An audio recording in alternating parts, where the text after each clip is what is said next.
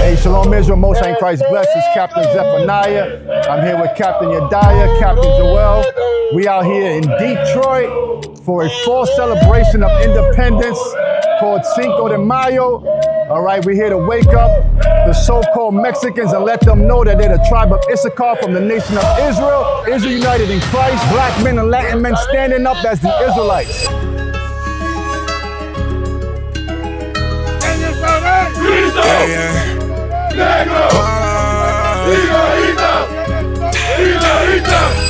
Ayy, we putting in work every day, and you know we content for the faith, so we never pretend with the fake. Hang out with the snakes. I just know what I am, what I ain't. I just do what I can, what I can't. I just leave it to him, I don't think. Hey. México es una palabra hebrea que significa Mesías. Los ser llamados mexicanos le pertenecen a la tribu de Isaacar en la Biblia. Ay, 12 rejas, 12 ángeles, 12 tribus. Dime dónde tú crees que va a entrar. Afuera del reino con perros y enemigos. Hoy van a estar. Con la espada y con el fuego que viene Cristo para la tierra purificar. 12 rejas, 12 ángeles, 12 tribus. Dime dónde tú crees que va a entrar. What the brother's bringing out is on point. He's teaching you your true nationality, all right? Because why are you out here? Why are you out here? You with the hat. For your what? For what? For Mexican pride. You can say it, right? You want to make sure your family's safe, but you got that hat on, so what are you representing? You're representing Mexico, right? When I ask you what's your nationality, what are you going to tell me? What are you going to tell me? Mexican American. Watch this. Watch this. Look at this. Because what we're teaching our people is the 12 tribes of Israel, right? The people that you see marching here, right, calling themselves Mexican, Latinos, Hispanics. Listen, watch this. You're from the tribe of Issachar. The so-called Mexican Aztecs are from the tribe of Issachar. You understand? Now, guess what? This, your oppressors, the so-called white man, he knows who you are. Let me show you this. Watch this. Read that. Read that for me. Origins of the American Indians. Origins of the American Indians. European Concepts 1992 1729. What is it? European Concepts 1992 1729. European concepts from 1492 to 1729. Where were we in 1492? Where were we? Raise that sign up. Watch this. Where were we in 1492 to 17? Even till now. Look at this. This is what happened to the so-called Mexicans. You understand? The so-called Mexican was enslaved just like the black man. You understand? That's why the brother brought out Jeremiah 50 verse 33. Judah and Ephraim or Israel are oppressed together. That's why we're in the same communities under the same conditions. You understand, my brother? So this is vital for you. For what? For your understanding, for your salvation. If nobody else gets this, you're going to get it. You understand? You have to be saved. You have to be saved. So what? For your family. You got to save your family. You said you're here because you want to make sure your family's all right. So you got to take this knowledge and take it back to them and teach them who they are. Now I'm going to show you something that, that the so-called white man knows that we don't know. Watch this. From that same book. Watch this. He, he can tell you that. This is my sister. Okay, And that's her husband. Read that for me. Great, great, great. This is from that book, Origins of the American Indian. Watch this. Read. The Mexican! So who? The Mexican! Who? The Mexican! That's these people here calling themselves Mexicans. The so-called white man called you Mexican. That is not your nationality. Read. Originally! Who? The Mexican! Originally! Or originally, meaning before you were called Mexicans, you were called something else. Of the ten tribes! Of where? Conquered, captured by Salmanazar! The Mexicans are originally from where? The ten tribes! The ten tribes. We are 12 tribes, but originally the 10 tribes came over here to America. Captured by Salmanazar! By who? By Salmanazar! By Salmanessa. By Salmanessa, the Assyrian king at that time. He captured the so-called Hispanics, Native Americans. Read. Of the family Of what? of Issachar! Family of what? Issachar! The family of Issachar, the so-called Mexicans, are originally the family of Issachar. Read. Who Who? the Indians? The The Indians! Indians, the Indians, Los Indios. That's your people, our people. Read. Recognize! They what? Recognize! They recognize, they recognize who they are. They knew who they were before captivity. As their special ancestor! As their special ancestor.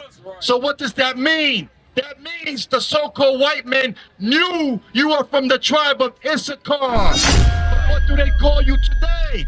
They call you Mexicans. That's not your nationality. And the Bible shows you that. Give me that Deuteronomy 28. Watch this. Verse 15. Deuteronomy chapter 28 and verse 15. But it shall come to pass. What? It shall come to pass. Meaning future prophecy. This was Moses talking to the Israelites, the Issacharites, the so-called Mexicans. It shall come to pass, meaning it will happen. Read. If thou wilt not hearken unto the voice of the Lord thy God. That's what we see now. Our people will not hearken to the voice of the Lord thy God. The Lord thy God's voice is this Bible. That's the that's God's voice. That's how this is what we must hearken to. But what? Our people want to be in madness and folly and wickedness and false vain hopes. Read. To observe to do all his commandments We must observe and do all God's commandments. Read. and his statutes. And his what? And his statutes, which I command thee this day. So he commands us. That's why we're out here. Why? Because we're awake. We're awake. You're waking up to your true nationality. Because what? Now you're being marked. When people ask you what's your nationality, you might still say Mexican because they don't know no better, but you do. So you gotta have patience, like we have patience with you, and teach your people, teach your family who they are, so they don't get caught up in this madness, this wickedness. You understand? Read? That all these curses, All these what? curses, All these what? curses, Is curse a good thing or a bad thing? Huh? Curse is a good thing? Absolutely, it's a bad thing. So let me ask you this question. Is being called Mexican a good thing or a bad thing? Why why you say that? So your oppressor named you Mexican, right? Watch this. It's in the it's part of the curses. Remember, Moses said, All these curses shall come upon thee and overtake thee. Give me verse 37. Watch this. Book of Deuteronomy, chapter 28,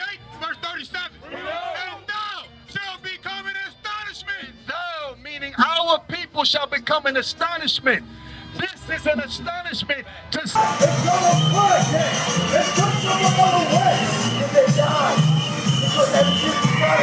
God's chosen people marching and dancing to lies and wickedness.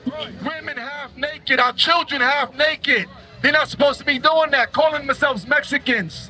In the land of our oppressors, in the land of our captivity. This is what's going on. Why? To keep you what? Asleep. Asleep. So that you don't wake up and what? Defend your true nationality. Protect your family. That's what they don't want you to do. But with this information, this is how you protect your family. This is how you defend your family by keeping God's commandments.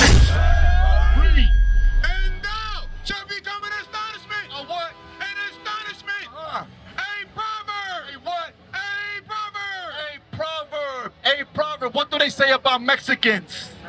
What do they say about Mexicans? Huh? What, what's a what's what's a saying that they say about Mexicans? Huh? Hard working, right? That's in the Bible as well. All right. What they what else they say? They call you Mexicans. That's a byword. A proverb is saying that Mexicans are what? Gangbangers. All right? They're drunks. All these things is what? It's part of the curses. Read. A proverb and a byword among all the nations. Among all sense. We've become a proverb and a byword, meaning people call you out of your God-given name. Among all the nations, they call us Mexicans. They call us wetbacks. They call us illegal aliens. A byword. You see that? That's the devil wanting to distract you from what? God's word. But you're being sealed today because now you know you're from the tribe of Issachar. Now you know you're from the tribe of Issachar. You understand? Give me um Psalms 94 verse 16. What do you think you have to do now? Now that you know you're from the tribe of Issachar, what do you have to do now? Huh? Come closer. What do you think you have to do now? Now that you know you're from the tribe of Issachar, from the nation of Israel. Keep the commandments of God, right? Keep the commandments of God. Watch this. This is what you got to do. Read. The book of Psalms, chapter 94, verse 16. Who will rise up for me? So God is asking, who will rise up for me? We are asking, who will rise up for God in these last days? All these men you see surrounded in purple, we have risen up for God. That's why we out here. Because we love our people. The so-called Mexicans, the so-called Hispanics, Latinos, blacks, Native Americans. These are God's chosen people. en la casa. Mi, mi abuelita tenía un foto así, una imagen falso. Y ahora estamos leyendo por medio de la Biblia que Cristo dijo cuando llegan imagen falso, profetas falsos que dicen que yo soy Cristo como esto, all right? But we are lost, lost to our true nationality. Watch this, read. Who will rise up for me against the evildoer? Against who? Against the evildoer. Who's the evildoers? Who is the evildoers? The ones that changed your nationality, made you forget who you are. Those are the evildoers. The other nations are the evildoers. The ones who have taken your land. California belongs to the so-called Mexicans. Phoenix, Arizona belongs to the so-called Mexicans. Texas belongs to the so-called Mexicans. But what? They took your land. They took your fields. Give me that in Micah 2 verse 2. So my brothers, you have to rise up. Rise up and defend your nationality. Defend your people against this madness. Next year, God willing, like Flash, you should be on this side teaching your people. Because guess what? All I see, the majority, I'm I'm a so-called Latino. I'm I'm a so-called Dominican. You understand? I speak Spanish. I came out here for the love of my people. You understand? These brothers right here, they're the so-called blacks. But they come out here for the love of their people. But we need brothers that look like you to teach your people. Why? Because there's a barrier, there's a division, and we must bring it down. How do we bring it down? By uniting, uniting the two houses, the house of Judah and the house of Israel, the so-called blacks and the so-called Hispanics. But it's not going to take everybody. Most times, just looking for a few brothers, a few faithful, loyal brothers to stand up. Watch this. Micah 2, verse 2. The book of Micah, chapter 2, verse 2. And they covet fields. Say what? And they covet fields. You know what that means, covet? Do you know what that means to covet? Meaning they want what you have. They want your land. They covet fields. They covet fields. They'll put a wall so you don't cross over to the own land that God gave you. You understand? Read. And they covet fields. And take them. And what? And take them. What do they do? And take them. A so-called white man took your land, took your land, and said, "Here, have a parade, celebrate Cinco de Mayo. Leave me the hell alone. I'll take your resources, your land, and whatever else I want." That's what happened. They covet fields and take your land. How do they take your land? Let's see. And take them by violence. By what? By violence. They take your land by violence. What happened to the so-called Mexicans, the so-called American Indians? They were slaughtered. In order for that land to be taken. They don't take it by peace. They don't take it by democracy, okay, by a handshake, by by signing treaties. No, they take it by violence. By violence. And they give you a fake parade to celebrate your what? So-called independence. You're not free. You don't know who you are, so how can you be free? You understand? Was there more?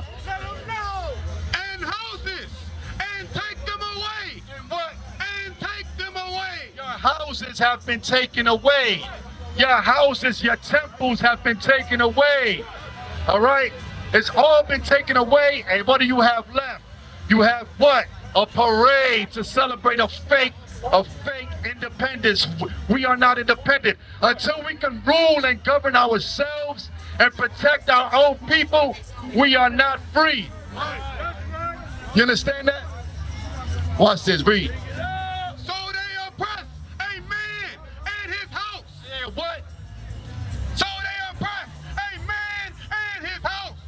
Oppress a man and his house. They oppress you. They oppress our people. Uh, to the fact, uh, to the point where what?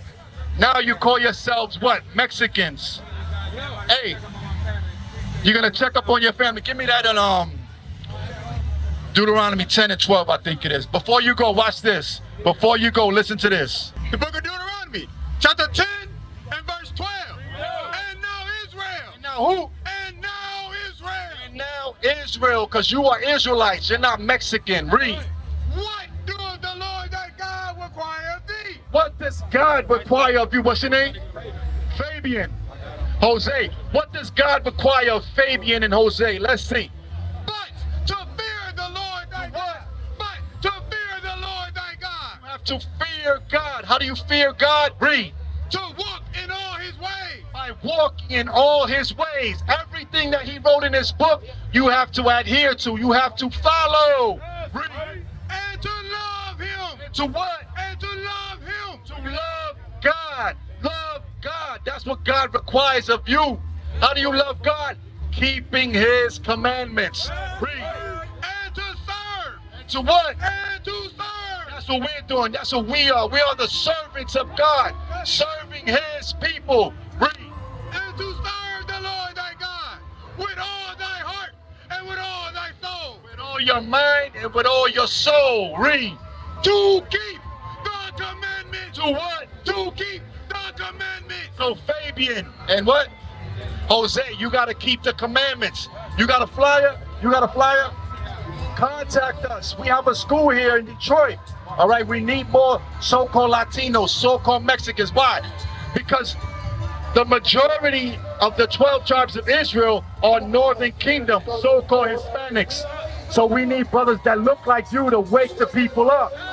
That's your job. From here on out, you are marked. You are marked. So it's your job, but God can judge you if you don't do it. You understand? Don't go back to sleep. You awake now. Do not go back to sleep. Was there more? Breathe. To keep the commandments of the Lord and his statutes, which I command thee this day for thy good. For what? For thy good. It's good. It's good for you. It's good for your family. You worried about your family. Your family needs to hear this. So these words that we're reading to you, teaching you, take it back to your family. Show them, teach them, so that we can come out of this. We don't belong here. This is captivity. This is our oppression. All right? So you brothers have a big job. You've been marked now. So you have to step up, rise up, teach your people. What is nation? Nation is family. Nation is community.